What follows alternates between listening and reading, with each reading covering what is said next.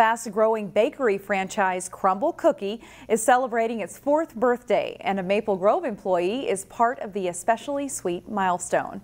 His latest creation is part of this week's birthday cookie lineup.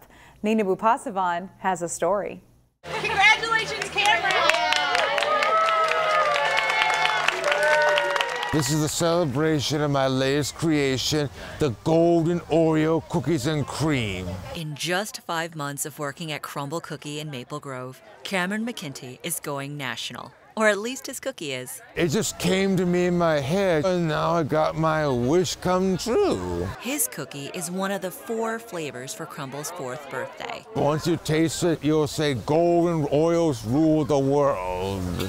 But while his cookie is cause for a celebration, Cameron's joy comes from his work, made possible by the nonprofit Choice. Our whole mission is to help people with intellectual disabilities find happiness. With Crumbl Cookie, they actually reached out to Choice, and we couldn't think of anybody that would be a better match than Cameron. A job that gives him so much more than a paycheck. My biggest goal for the job is to give back to the community. That there's nothing more beautiful than a positive, happy mind. When you have a child that has to work a little bit harder to do things a lot of us do and take for granted, it's so incredible to see them succeed and in such a big way. I mean, you know, 250 stores across the country and this big party and all these wonderful people. It's a big deal and it's it's the biggest deal is because it makes him so happy. People are going to be talking about this for years. Say, yeah, I remember that guy's cookie. They were delicious. Nina Bupasavan, CCX News.